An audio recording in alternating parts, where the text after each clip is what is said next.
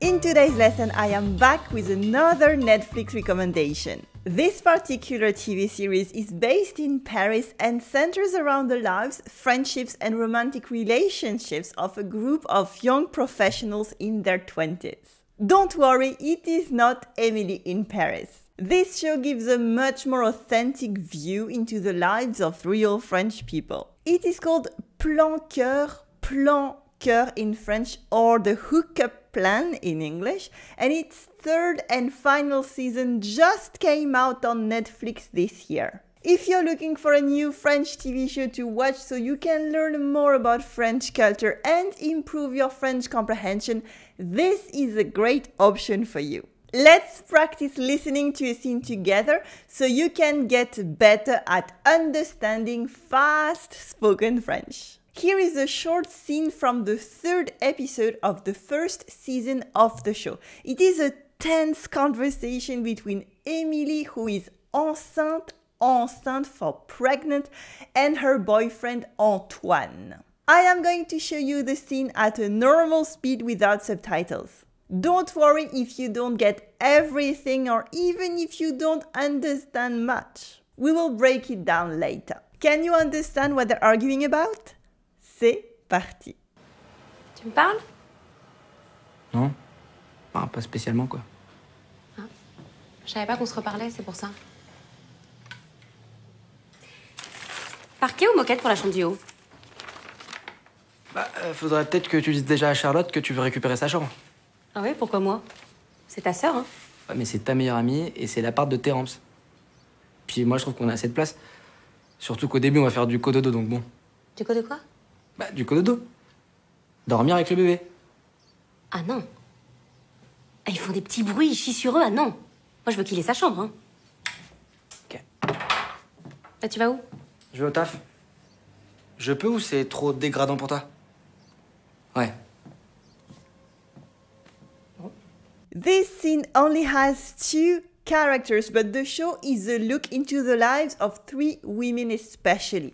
Elsa, Charlotte and Emily here. It's got a modern French Sex and the City vibe, and yes, it is not very deep, it is not very surprising, but it's quite fun to watch. And it is a good way to learn a modern, everyday French too. For instance, in this short scene, they use words like le taf, le taf, which is informal French for le travail, le travail, work. It is a very common everyday French word, but not many people know that it is actually an acronym. TAF means travail à faire. Travail à faire for work to do. You can also say le boulot, le boulot, another informal word for work. In this scene, Emily also says il, she il, she comes from the verb chier, chier which means to poop. It is a mild French word, so don't use it. It is not elegant. Here, she uses it only because she's frustrated and she's getting angry. One last slang word from the scene comes from Antoine, and it is les remps for les parents, les rampes. And he's talking about her parent. It comes from le verlan le verlan, which is a French slang technique of switching syllables around. Here, les parents, les parents becomes les rangs pas, les rangs pas, and the final a gets cut for simplicity. To be honest, this is not a word I hear or use often, but it depends on your age and social scene. You could also use les darons, les darons, or tes vieux tes vieux for your old people as informal words for parents. Then you have your informal grammar, such as eating the pronoun il in il faudrait, il faudrait, we should. Or adding the filler word quoi, quoi, which means what, at the end of a sentence in order to mean you know or that's all. Let's watch the scene again, but a bit slower this time. It is something that you can do yourself when you are watching a show as well. Now, Can you hear the words we just talked about? And also, can you hear the informal French grammar here? Tu me parles Non Pas, pas spécialement, quoi. Ah. Je savais pas qu'on se reparlait, c'est pour ça. Parquet ou moquette pour la chambre du haut Bah, euh, faudrait peut-être que tu dises déjà à Charlotte que tu veux récupérer sa chambre. Ah ouais, pourquoi moi C'est ta sœur, hein Ouais, mais c'est ta meilleure amie et c'est l'appart de Terence. Puis moi, je trouve qu'on a assez de place. Surtout qu'au début, on va faire du cododo, donc bon. Du de quoi Bah, du cododo. Dormir avec le bébé. Ah non. Ah, Ils font des petits bruits, ils chient sur eux, ah non. Moi, je veux qu'il ait sa chambre, hein. Ok. Ah, tu vas où? Je vais au taf. Je peux ou c'est trop dégradant pour toi? Ouais. So, how did it go this time?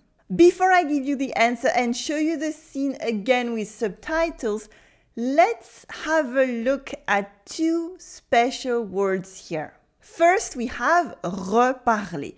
Reparler. It means to talk again. Here, what's interesting is that in French, we often tend to add re at the beginning of a verb in order to mean again or once again. So here, parler means to talk, of course, but when you add re to it, it becomes to talk once again or to speak to each other again. But we also have refaire, refaire, which is to do again or to redo, or even rebonjour, rebonjour for hello again when you see someone again in the same day. And this is why French people never say bonjour twice to someone in the same day.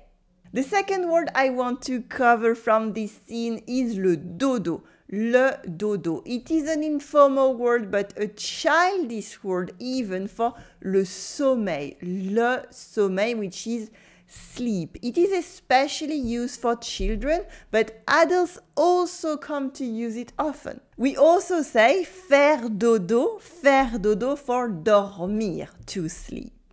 Okay, now let's add some French subtitles to this scene. You will find the words that we just talked about, but if you listen closely, you will find out that they don't actually say all the letters out loud. So if you can, try to notice which letters are they eating and what other informal grammar and pronunciation can you hear? Tu me parles Non Pas, spécialement, quoi. Je savais pas qu'on se reparlait, c'est pour ça. Parquet ou moquette pour la chambre du haut? Bah, euh, faudrait peut-être que tu dises déjà à Charlotte que tu veux récupérer sa chambre. Ah ouais, pourquoi moi? C'est ta sœur, hein Ouais, mais c'est ta meilleure amie et c'est l'appart de Terence. Puis moi, je trouve qu'on a assez de place. Surtout qu'au début, on va faire du cododo, donc bon. Du coup de quoi? Bah, du cododo. Dormir avec le bébé. Ah non. Ah, Ils font des petits bruits, ils chient sur eux, ah non. Moi, je veux qu'il ait sa chambre, hein. Ok. Ah, tu vas où? Je vais au taf. Je peux ou c'est trop dégradant pour toi? Ouais. Okay, don't worry if you still didn't understand everything. I will give you the translation in a minute. Did you notice the letters that they dropped? I mean, first of all, questions get much simpler. Like for where are you going? The correct French question should be où vas-tu? Où vas-tu? Or even où est-ce que tu vas? Où est-ce que tu vas? This is probably what you learned at school, but in informal spoken French, like here, we don't do the inversion. We can just simply ask Tu vas où? Tu vas où? This means where are you going or literally you go where. You can do that too when you're asking French question and it is going to make your life much, much easier. Then, of course, they drop the ne in all the negative sentences. You might have learned in school that in French we'd say je ne savais pas for I didn't know. Je ne savais pas. But here she simply says je savais pas. Je savais pas. It is very, very, very common in everyday French. We actually use ne to really emphasize a point or to sound really formal. But it goes even further than that because she actually says je savais pas, je savais pas. All the small pronouns that end in e, such as je, te, se, me, often lose their vowel to speak faster. And to tell you the truth, for other small words that are often used, it gets even more radical. Peut-être, peut-être, which means maybe, actually gets pronounced peut-être in this scene. Peut-être, peut-être, peut-être. And this is the case in many real French conversations. Finally, you have a ton of informal filler words such as ba, ben, e, or even quoi, which means what, as we've seen, and where and non, which are informal ways to say oui and non, yes and no. You will see all that now in the subtitles. And let's get back to normal speed, this time with the English translation. Tu me parles Non Pas, pas spécialement, quoi. Je savais pas qu'on se reparlait, c'est pour ça. Parquet ou moquette pour la chambre du haut Bah, euh, faudrait peut-être que tu dises déjà à Charlotte que tu veux récupérer sa chambre. Ah ouais, pourquoi moi C'est ta sœur, hein Ouais, mais c'est ta meilleure amie et c'est l'appart de Terence. Puis moi, je trouve qu'on a assez de place. Surtout qu'au début, on va faire du cododo, donc bon. Du de quoi Bah, du cododo. Dormir avec le bébé. Ah non. Ah, Ils font des petits bruits, ils chient sur eux, ah non. Moi, je veux qu'il ait sa chambre, hein. Ok. Bah, tu vas où? Je vais au taf. Je peux ou c'est trop dégradant pour toi? Ouais. Did you get everything? Do you fully understand the scene now? You can watch the previous pass a second time if you need to pause the video to read the subtitles. Otherwise, let's go ahead and listen to the scene one more time, all in spoken French at normal speed. How much can you understand compared to the first time you watched it a few minutes ago? Let's go. Tu me parles Non Pas, pas spécialement, quoi. Ah. Je savais pas qu'on se reparlait, c'est pour ça. Parquet ou moquette pour la chambre du haut Bah, euh, faudrait peut-être que tu dises déjà à Charlotte que tu veux récupérer sa chambre. Ah ouais, pourquoi moi C'est ta sœur, hein Ouais, mais c'est ta meilleure amie et c'est l'appart de Terence. Puis moi, je trouve qu'on a assez de place. Surtout qu'au début, on va faire du cododo, donc bon. Du de quoi Bah, du cododo. Dormir avec le bébé. Ah non. Ah, Ils font des petits bruits, ils chient sur eux, ah non. Moi, je veux qu'il ait sa chambre, hein. Ok. Bah, tu vas où Je vais au taf. Je peux ou c'est trop dégradant pour toi? Ouais. And you did it! Did you understand everything now? Is it at least a bit better?